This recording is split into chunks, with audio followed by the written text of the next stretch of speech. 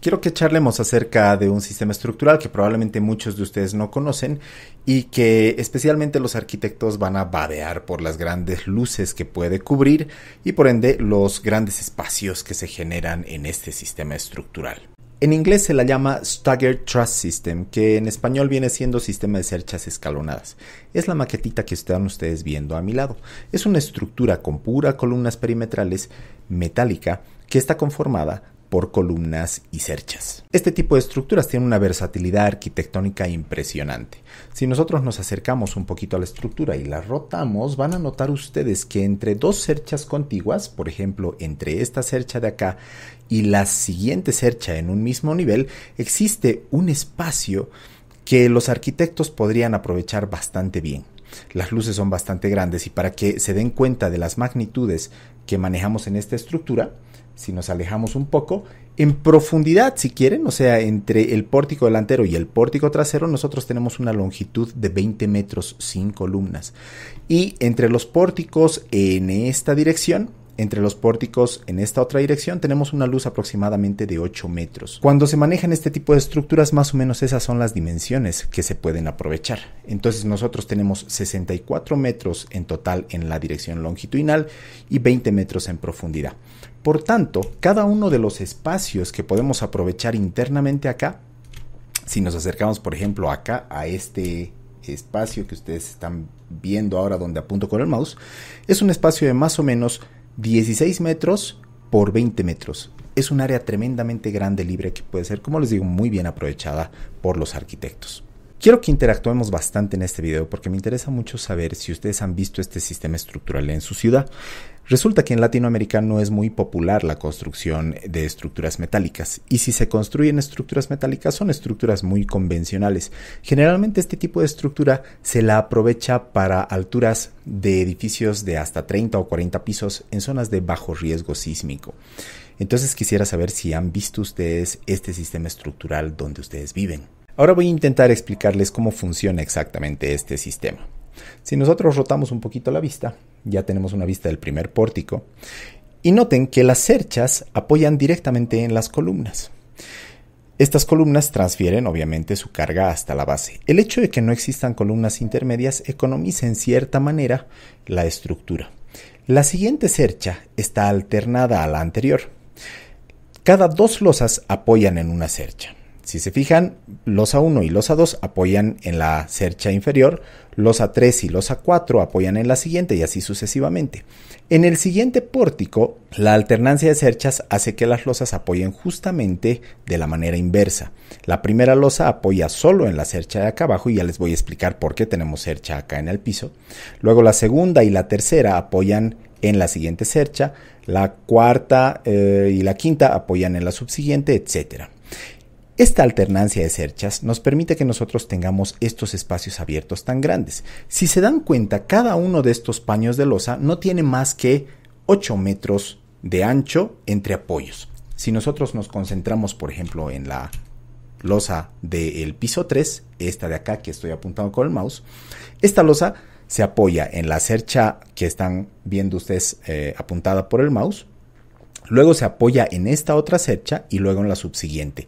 Entre marcos les había dicho que nosotros teníamos 8 metros, por tanto la luz más corta de esta losa es de 8 metros. Vamos a verlo a más detalle en una vista en planta. En esta vista en planta nosotros aquí tenemos 8 metros, 8 metros y 8 metros. En esta dirección nosotros vamos a poder apoyar las losas efectivamente. Vámonos nuevamente a la maquetita. En los pisos superiores, lastimosamente, si no colocamos estas pequeñas columnas que ustedes están viendo acá, nosotros tendríamos una luz muy grande que cubrir con la losa superior. Esto puede salvarse apoyando con estas pequeñas columnas hacia la cercha inmediatamente inferior o aplicando en vez de una losa en el último piso un sistema de cubierta liviana. No, en esos casos no necesitaríamos probablemente estas columnas acá. Yo las he puesto porque he repetido las losas hasta el último nivel. Algo que ahora probablemente ustedes estén preguntando es, ok, el sistema estructural para cargas gravitacionales y transferencia hacia el suelo funciona muy bien, pero ¿qué pasa con las cargas laterales? Lateralmente, la estructura funciona de la siguiente manera. Nosotros vamos a asumir dos direcciones de análisis. En la dirección longitudinal vamos a nosotros colocar la estructura de esta forma Longitudinalmente, cuando nosotros tenemos un empuje, digamos, de izquierda hacia derecha, son los pórticos los que nos resisten la carga lateral, producto de viento o sismo.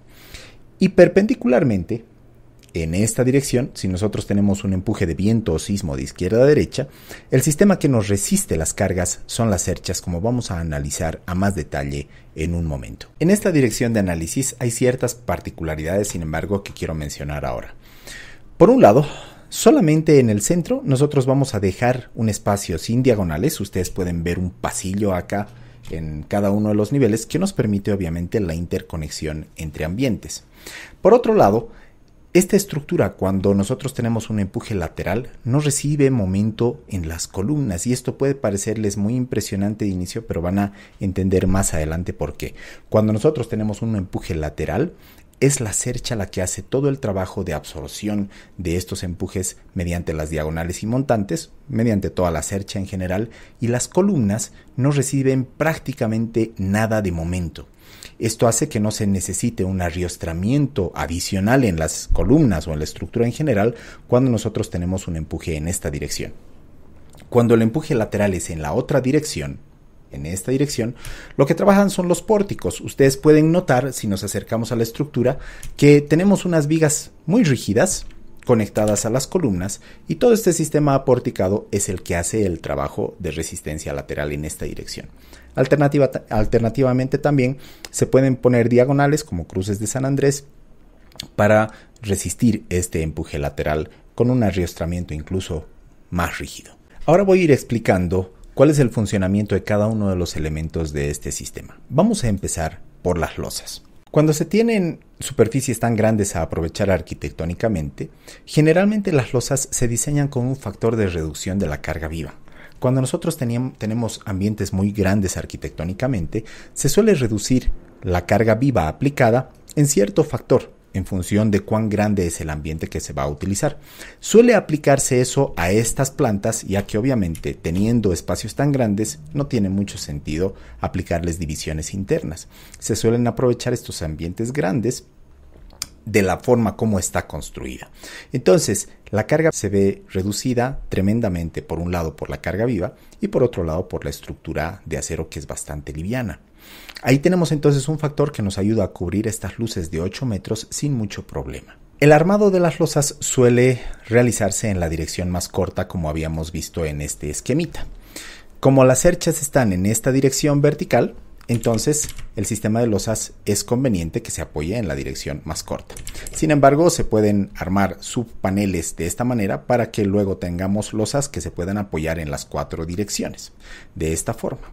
Pero en general, en este tipo de sistemas es común tener espesores de losa entre 15 y 20 centímetros. Se puede adoptar un sistema de construcción de losa vaciado en sitio o un sistema de armado prefabricado de losas.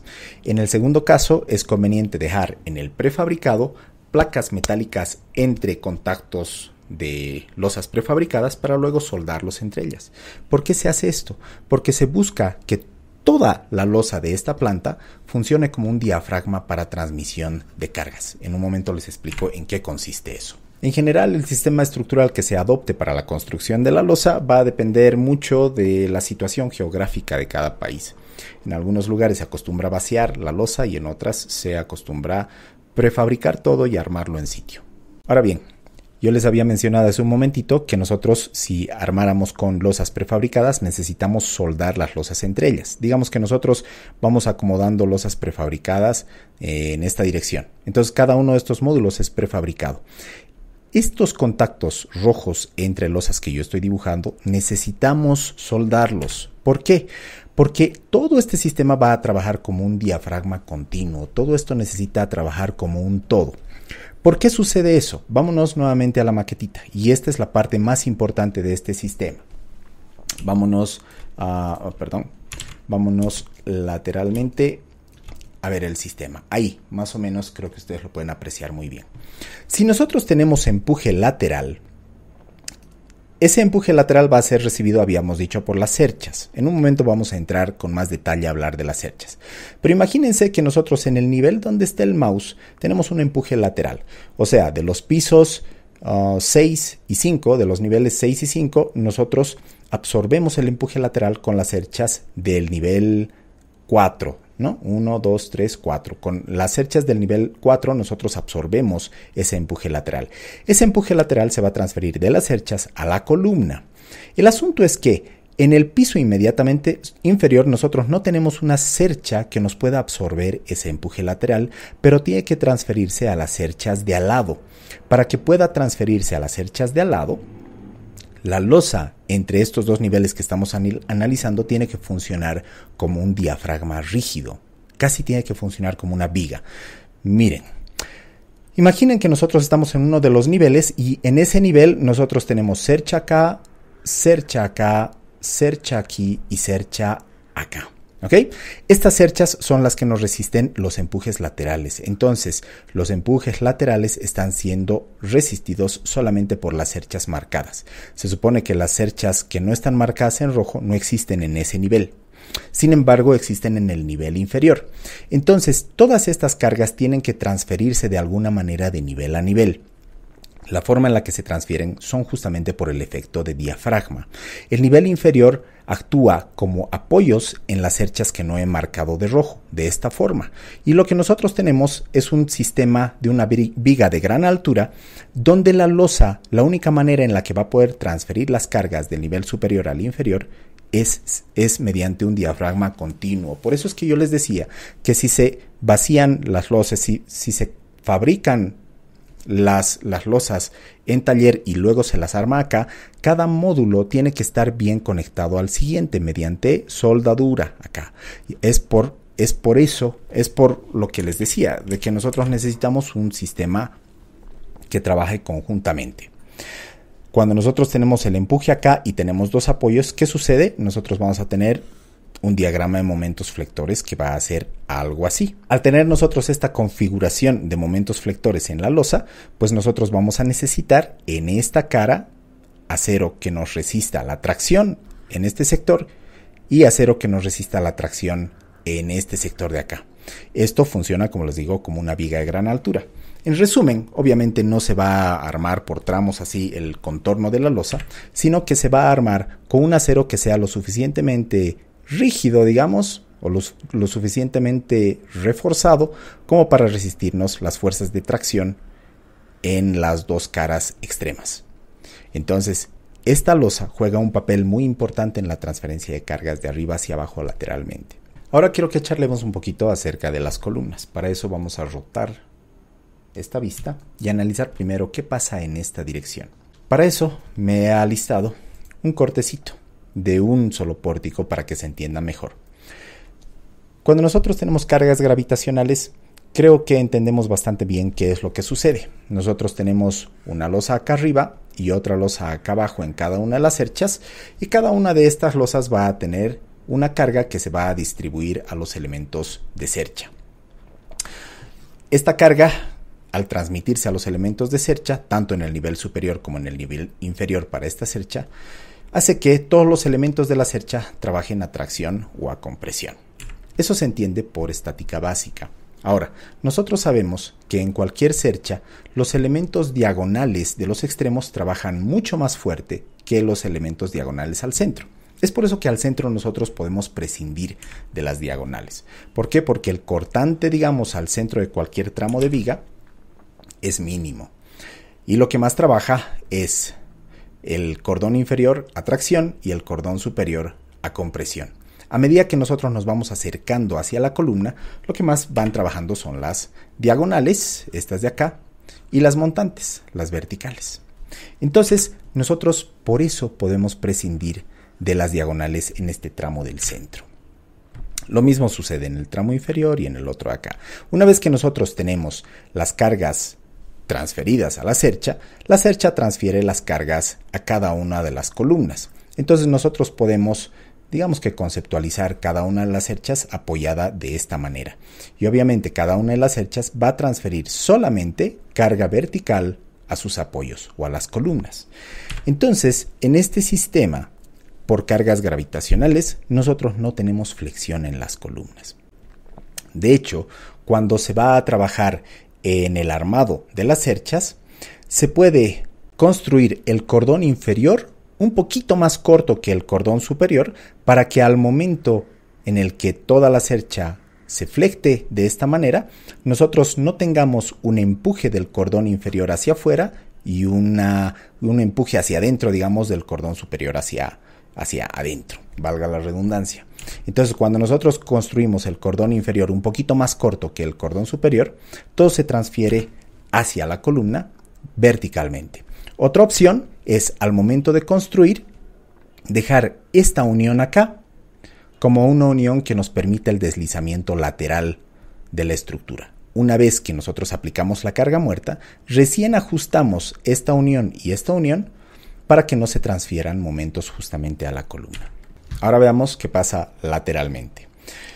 Sucede algo muy similar. Cuando nosotros aplicamos una carga lateral acá, en la zona de la cercha, obviamente no vamos a tener momento flector porque todo en la cercha trabaja a compresión o tracción. Entonces todo este bloquecito rojo que yo he dibujado no va a trabajar a flexión. Lo mismo sucede acá.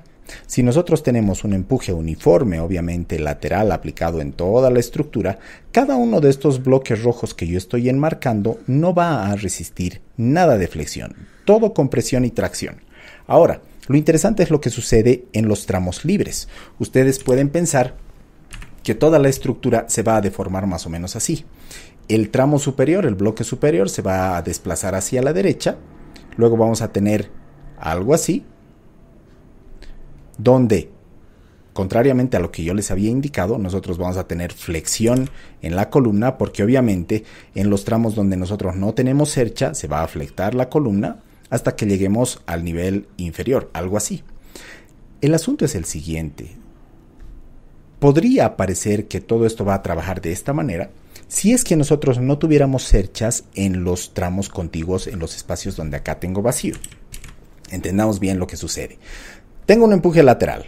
Producto del empuje lateral, las cerchas trabajan a compresión y tracción y son bastante rígidos, por eso he dejado el bloque casi sin deformarse. En los tramos vacíos, obviamente la columna va a deformarse mucho más porque acá no tenemos cercha, pero sí tenemos cercha en el otro pórtico. Y como en el otro pórtico tenemos cercha, es esa cercha la que nos va a resistir el empuje lateral en este nivel, en este, en este y en este nivel. Y luego, en el siguiente nivel, en el inmediatamente superior, en este y en este, otra vez vamos a resistir el empuje lateral por la cercha que tenemos construida. Ahora, ¿cómo es que si acá no hay cercha, nosotros no vamos a tener flexión en esta columna? Justamente por el efecto de diafragma que les había explicado minutos atrás. La losa transfiere la carga lateral de esta cercha absorbida por esta cercha al nivel inferior a través del efecto de diafragma.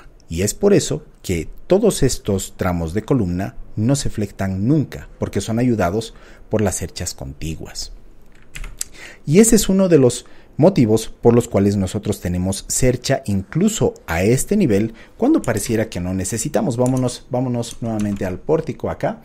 Y si nos fijamos en la planta baja, nosotros tenemos el sistema de cerchas alternado incluso aquí en la planta baja, donde pareciera que ya prácticamente no se, no se necesita. Acá abajo ustedes podrían haber pensado, no necesitamos un sistema de cercha, podríamos poner simplemente columnas cada cierta distancia, como lo hemos hecho acá arriba. Pero el problema es que nosotros en la planta baja es donde tenemos más fuerza cortante y es donde nosotros necesitamos resistir con más fuerza también los empujes laterales. Y la mejor manera de resistirlo es mediante un sistema continuo hasta el piso. En la otra dirección nosotros tenemos un sistema porticado tradicional. Cada uno de estos de acá es un sistema de pórtico que ustedes ya lo conocen y en realidad es uno de los sistemas más conocidos que estudiamos desde la universidad. Entonces cada uno de estos pórticos nos va a resistir el empuje lateral que puede venir de cualquiera de los dos lados mediante obviamente una transferencia de momentos y cortantes en los nudos. Esto es lo que nosotros más estudiamos en ingeniería. Ahora, para lograr eso, nosotros necesitamos un sistema de vigas bastante robusto en esta dirección y también un sistema de columnas bastante robustos en la misma dirección. Si nosotros nos vamos al, a la maquetita, se van a dar cuenta de que en la dirección débil de nuestros perfiles W, nosotros hemos armado las cerchas. Si nosotros vemos el perfil ahí, se dan cuenta de que en la dirección más corta, nosotros hemos armado las cerchas, porque las cerchas en esa dirección son las que hacen todo el trabajo de transferencia de cargas laterales. En la otra dirección, en la, dirección longitudinal de nuestra estructura, nosotros tenemos el mayor peralte de nuestro perfil W. Si nosotros ah, vemos ahí nuestro perfil W, ahí se lo ve. Entonces, la mayor inercia nosotros la tenemos en la dirección en la que no tenemos cerchas, porque es justamente esa la dirección en la que se va a hacer el mayor trabajo de transferencia de momentos flectores y cortantes por cargas laterales. Entonces, sección muy robusta de columna y sección muy robusta de viga en esa dirección. Otra alternativa, manteniendo las columnas obviamente robustas, es generando uh, construcción de diagonales de esta manera, ¿no? Podemos nosotros construir diagonales eh, de esta forma y en la otra dirección también, o mediante cruces de San Andrés, como les había mencionado. Hay varias alternativas en este caso. Incluso se podría, en caso de utilizar ascensores, se puede construir muros de corte que se vacíen en algunas de las caras y que nos sirvan obviamente como elementos de absorción de cargas laterales en esta dirección. Entonces tenemos tres alternativas. Tenemos un sistema porticado simple, tenemos las diagonales que nos pueden absorber los cortantes y también tenemos los muros de corte de hormigón armado probablemente. Ahora terminemos hablando un poquito de las cerchas. Este sistema de cerchas va a trabajar a tracción y compresión, como les había mencionado antes. Las dimensiones de los elementos van a ir en directa proporción con la altura que vaya a tener eh, la estructura, especialmente en las diagonales. Y bueno, los elementos cordón inferior y cordón superior van a estar en función de la luz. La relación largo-ancho suele estar más o menos en 6 a 1. Si nosotros tenemos esta longitud como 6, la altura va a ser 1. Es la relación simplemente, ¿no? Obviamente aquí tenemos una longitud de 20 metros y por tanto necesitamos una altura de 3 metros para mantener esa relación largo-ancho. Ahora, ¿Qué sucede acá al centro? Cuando nosotros tenemos cargas gravitacionales, les había, les había dicho, cuando nosotros tenemos cargas verticales, prácticamente no se necesitan diagonales al centro. Pero ¿qué pasa cuando nosotros tenemos cargas laterales? Si yo tengo cargas laterales acá, se va a generar cierta flexión en la parte menos rígida de nuestra cercha. O sea, todo el bloque va a intentar deformarse así en esta parte y más o menos así en esta otra parte. Y acá vamos a tener cierta flexión en los elementos que se tiene que calcular. El modelado de estas cerchas suele hacerse de la siguiente manera. Se mantienen continuos los cordones superior e inferior y tanto diagonales como montantes se las articula en los extremos. El motivo quiero que me lo digan ustedes en los comentarios si es que lo saben. Pero esta es la manera, digamos, típica de modelar esto matemáticamente en un software estructural. Ahora bien, estos elementos de cercha van a ser fabricados en taller, por tanto es muy conveniente que la distancia entre cerchas se mantenga constante. Así las secciones que se fabrican son las mismas para todas las cerchas y de esa manera, fabricando todas las cerchas en serie, se obtienen grandes ahorros económicos en la fabricación. Creo que con eso he cubierto absolutamente todo. Bueno, probablemente haya dejado algunas cosas al aire, pero si existen dudas, quiero que me las hagas saber en los comentarios. Con eso termino el video y como siempre, nos vemos en una siguiente vez. Adiós.